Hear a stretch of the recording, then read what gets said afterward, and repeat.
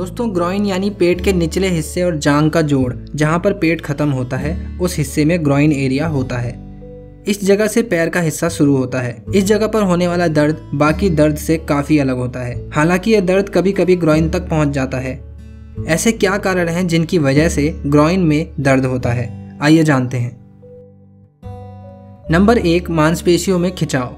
ज़्यादातर ग्रॉइन में दर्द का कारण मांसपेशियों में खिंचाव होता है। जो लोग स्पोर्ट्स खेलते हैं, जैसे धावक, फुटबॉल, हॉकी आदि, उनको ये समस्याएँ अक्सर हो जाती हैं। इसमें दर्द, चोट लगने के तुरंत बाद हो सकता है और सप्ताह में या महीनों के बाद भी हो सकता है।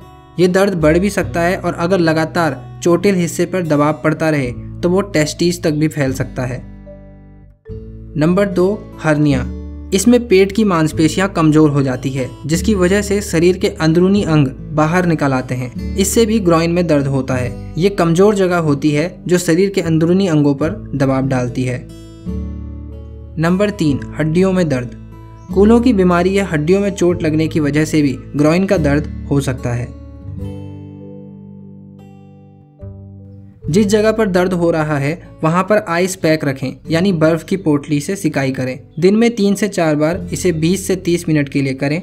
अगर दर्द से छुटकारा पाना है तो सामान्य दर्दनाशक दवा भी ले सकते हैं। अगर फिर भी ठीक ना हो तो किसी फिजियोथेरेपिस्ट से उपचार करवाएँ।